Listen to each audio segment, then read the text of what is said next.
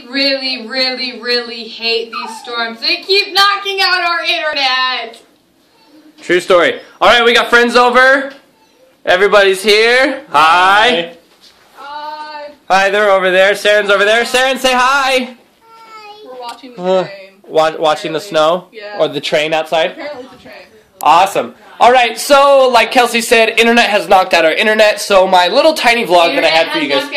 Internet has knocked internet. Internet has knocked out our internet. Yeah, the storm has knocked out our internet. I'm still loopy. You're a little special, sickhead. Uh, so the nice short vlog that I had for you guys is not going up anytime soon. Oh, okay. And so you're getting a nice one little one take. I'm sorry, you guys. As soon as wow, you want down? Okay. Can you say bye, everybody? Can You say bye, buddies. I know. bye, buddies. I know this is your second one take, but such is life. Internet goes down, and I really don't want to have to wait three days for a half a gig video to go up. So such is life. Bye, guys. Okay, love you people. Um, enjoy the video. Eat your food.